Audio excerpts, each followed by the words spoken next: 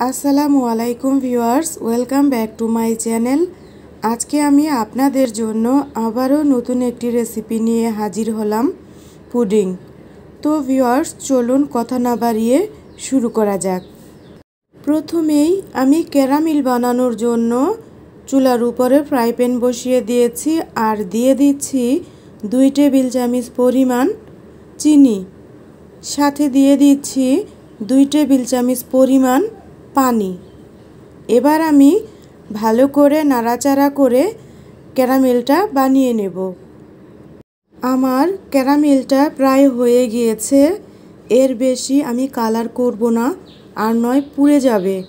এখন আমি যে বাটিতে পুডিং জমতে দিব, সেই বাটিতে ক্যারামেলটা ঢেলে নেব। এবার আমি ক্যারামেলটা বাটিতে ঢেলে দিলাম। আর বাটিটা ঘুরিয়ে বাটির চারপাশে ক্যারামেলটা লাগিয়ে নিলাম। এবার বাটিটা রেখে দিলেই ক্যারামেলটা সেট হয়ে যাবে।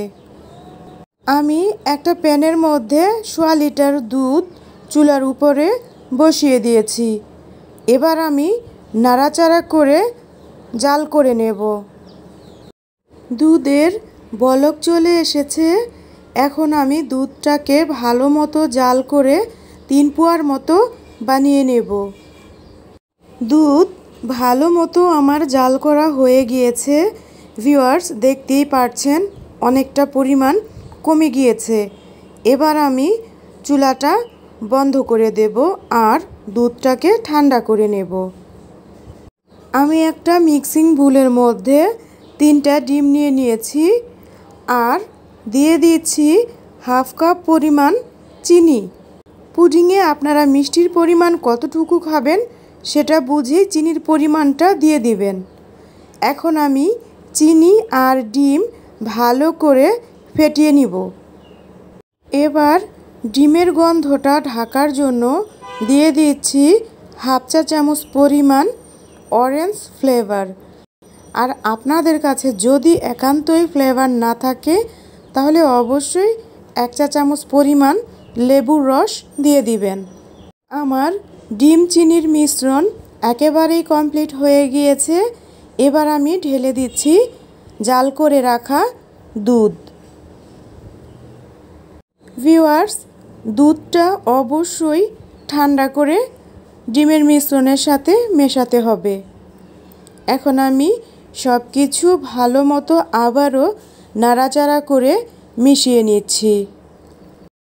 এদিকে আমার ক্যারামেলটাও ভালো মতো সেট হয়ে গিয়েছে।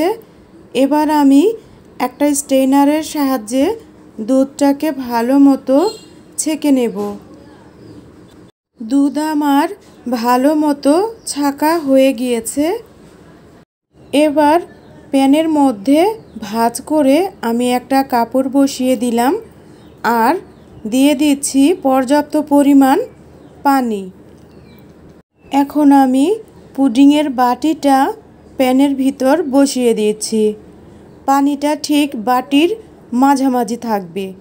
এবার আমি ঢাকনা দিয়ে ঢেকে চুলার উপরে বসিয়ে দেব। আমি প্যানটা চুলার উপরে বসিয়ে দিয়েছি। এ পর্যায়ে চুলাটা থাকবে হাই ফ্লেমে। আর বলক আসলে চুলাটাকে মিডিয়াম টু লো করে দিতে হবে। এভাবে করে আমি ২০ থেকে পঁচিশ মিনিট জাল করে নেব। ফিরে আসছি আমি পঁচিশ মিনিট পর। এখন আমি ঢাকনাটা খুলে নেব আর চুলাটা বন্ধ করে দেব। এবার আমি বাটির মুখটা খুলে দেখব ভিতরের কি অবস্থা। ভিওয়ার্স এ পর্যায়ে ঢাকনাটা খুবই সাবধানে খুলতে হবে। নয়, ভাপ লেগে হাত পুড়ে যাওয়ার সম্ভাবনা আছে। ভিওয়ার্স দেখুন, আমার পুডিং জমে গিয়েছে। এবার আমি একটা কাঠি দিয়ে মাঝখানে দেখব ভিতর পর্যন্ত হয়েছে কি না আমার পুডিং হয়ে গিয়েছে। এবার আমি পুডিংয়ের বাটিটা নামিয়ে ফেলব। আর ঠান্ডা করে দুই ঘণ্টার জন্য নর্মাল ফ্রিজে রেখে দেব। এতে করে পুডিংটা আরও ভালো মতো সেট হয়ে যাবে। ফিরে আসছি আমি দুই ঘণ্টা পর। এখন আমি বাটির ঢাকনাটা খুলে নেব আর একটা চাকুর সাহায্যে চারপাশ কেটে নেব। এখন একটা প্লেট নিয়ে বাটির উপর রেখে উপর করে প্লেটের মধ্যে পুডিংটাকে ধীরে ধীরে ঢেলে দিতে হবে। এখন আমি আপনাদেরকে পুডিংটা কেটে দেখিয়ে দিচ্ছি, ভিতরে কতটা সুন্দর আর সফট হয়েছে।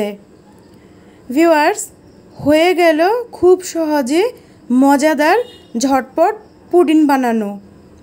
আপনারাও এভাবে ঘরের মধ্যে বানাবেন আর আমায় কমেন্ট করে জানাবেন আপনাদের পুডিং কেমন হয়েছে।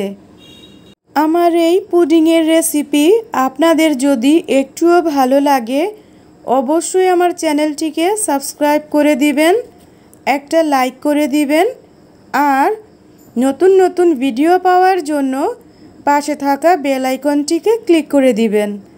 আমি নতুন কোনো ভিডিও আপলোড দেওয়ার সাথে সাথে আপনারা যেন পেয়ে যান। আপনারা সবাই অনেক অনেক ভালো থাকবেন। আল্লাহ হাফেজ।